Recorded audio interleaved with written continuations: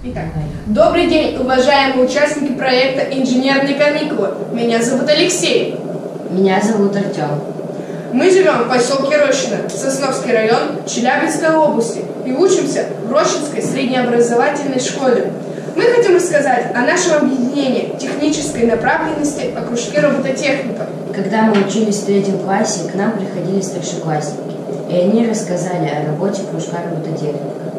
В нашей школе они показали модели роботов, которые собрали сами. Роботы, вот они, тут рядом, в реальности, а не в мечтах. И мы подумали, мы сможем собрать их сами, таких, каких мы захотим. Нас интересовало все. Почему и как робот ездит, как им управлять с помощью компьютера. Мы твердо решили записаться в кружок по робототехнике. Более полугода в кружке поняли, что робототехника это не просто сложно, но и очень увлекательно и полезное знание, занятие. Она учит наблюдать и концентрировать внимание на развитии творческих способностей, а также логику. Учит умению мыслить и сравнивать сделанные с заданием.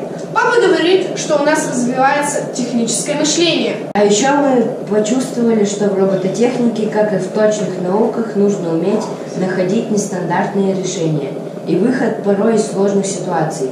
Часто на соревнованиях по робототехнике, в которых мы уже участвовали не один раз, приходится брать на себя ответственность не только за себя, но и за весь проект.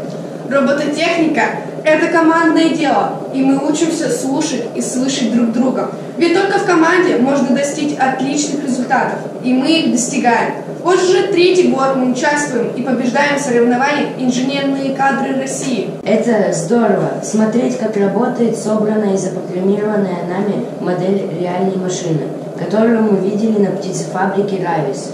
Мы считаем, что тот, кто серьезно увлечен робототехникой, может построить свое замечательное будущее. 3D-мышление, АЗ-проектирование, воплощение мечты в действительность – это так познавательно и увлекательно.